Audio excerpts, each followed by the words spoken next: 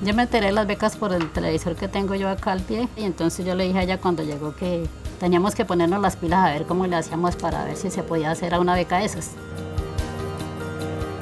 Después de que salieron los resultados, mi puntaje fue de 337 puntos. Y Jessica siempre dijo, esa beca es para mí, yo me voy a ganar, esa beca me lo va a ganar, me lo va a ganar.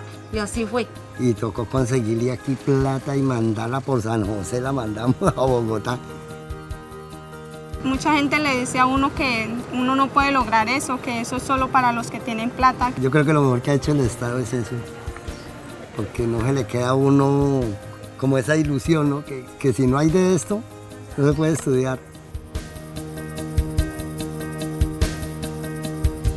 Todos por un nuevo país.